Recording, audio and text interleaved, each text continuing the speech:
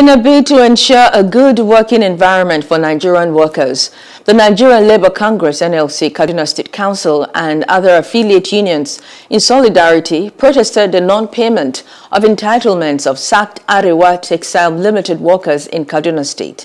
The protesters were seen carrying placards with various inscriptions such as Settle Arewa Workers Entitlement.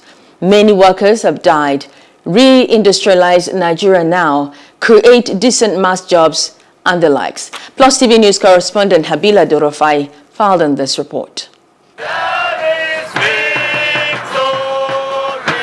These people had worked for the leading factory and employer of labor in northern Nigeria without payment of salaries, gratuities, and entitlements with other benefits for 20 years. Some of them died with many going through depression and others in abject poverty and cannot cater for the families. Speaking, the NLC chairman, Kaduna State Council, Comrade Ayuba Magaji, said the union picketed Arewa Textiles despite the fact that it has been closed down for over 20 years. Members from the Nigerian Union of Textiles and Garment and Tailoring Workers have been having it tough.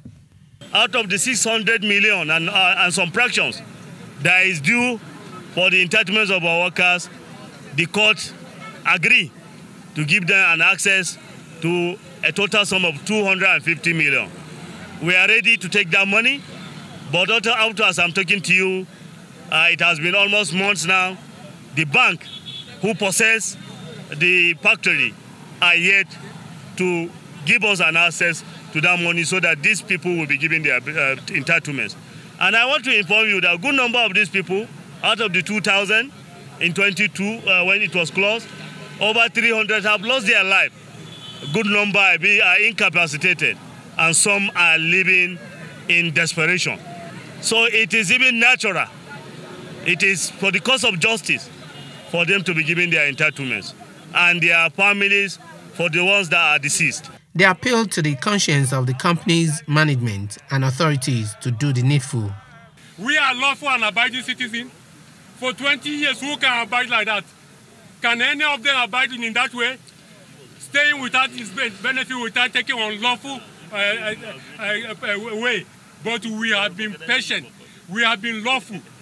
Our president who have promised to us that he will revive the textiles industries. We are believing that he will still do it. He still have some moons to go. But we are appealing to him. Call the owners of this factory to order.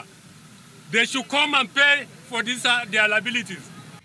They called on authorities concerned to obey the court order by paying the agreed amount to the workers while urging the government to ensure that they give them their entitlements.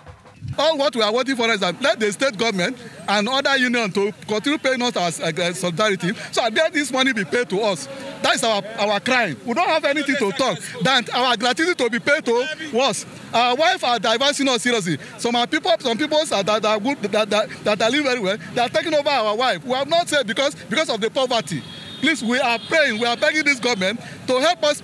Government must intensify efforts to ensure that factories are revived in the country for job employment, as no nation develops without factories in the 21st century.